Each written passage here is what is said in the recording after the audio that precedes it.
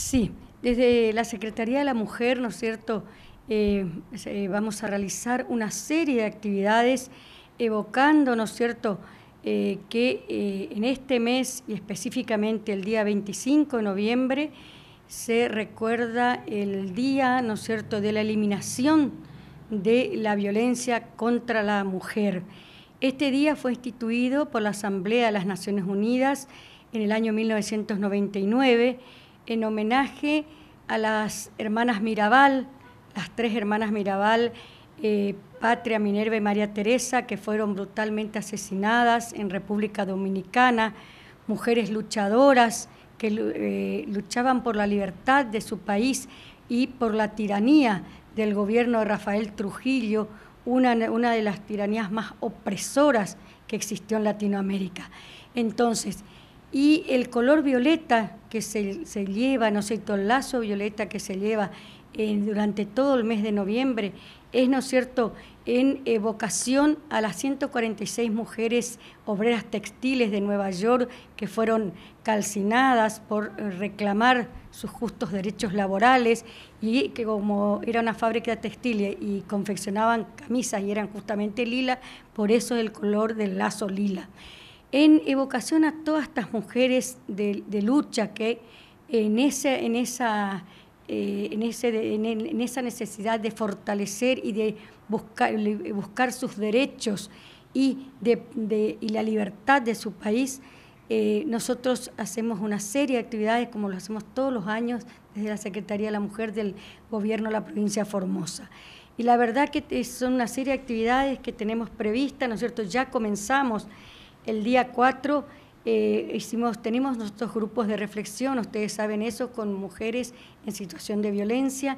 El día 4, de, tanto el 4 como eh, otros días que vienen a los grupos de reflexión las mujeres, eh, bajo el lema El valor de acompañarlos, tenemos talleres. El día 5 también capacitamos sobre a mujeres beneficiarias del programa Hacemos Futuro aquí también la Secretaría de la Mujer.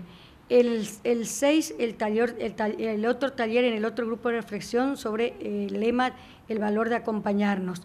Después tenemos el día 7, mañana, jueves 7, una jornada de capacitación de violencia en el noviazgo en la PES número 87 del barrio República Argentina. El 8 hay una muy importante jornada de nutrición para la salud por un reconocido profesional médico deportólogo, el doctor Alejandro García, de la ciudad de, Autónoma de Buenos Aires, que viene a dar una charla. Él es el autor del libro eh, Malditas eh, Calorías. Realmente es muy importante y se va a hacer en el Instituto Superior, ¿no es cierto?, el profesor Ramón Carrillo. El día 11 tenemos un encuentro de fortalecimiento de derechos y también se finaliza con clases de Zumba en coordinación con la Dirección de Penitenciarías de, las unidades penitenciarias en la unidad penal 4 eh, mixta de Clorinda, en la ciudad de Clorinda. El 12 también tenemos taller de capacitación para eh, beneficiarias del programa Hacemos Futuro. Después, el día 13, tenemos un encuentro Mujeres en Acción en el lote 111. El día 14 tenemos capacitación de la Ley 26485 sobre salud emocional en coordinación con el municipio y el Juzgado de Paz de la localidad de Misión Laicí. Y el lugar es en el Instituto San Francisco eh, número 2 de la ciudad de Misión Laicí. El día 15 hay un taller que bajo el lema Unamos Fuerzas vamos a hacer en coordinación con la Jefatura de la Policía de la provincia de Formosa y el Instituto de Formación Policial, con los cadetes de la policía en el Instituto de Formación Policial. El día, el día martes 19 hay una jornada de capacitación de violencia en el noviazgo en la EPES número 32 de la ciudad de Mansilla.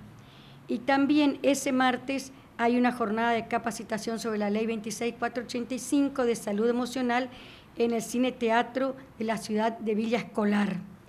El miércoles 20 hay un encuentro de mujeres en acción también en el barrio El Porvenir.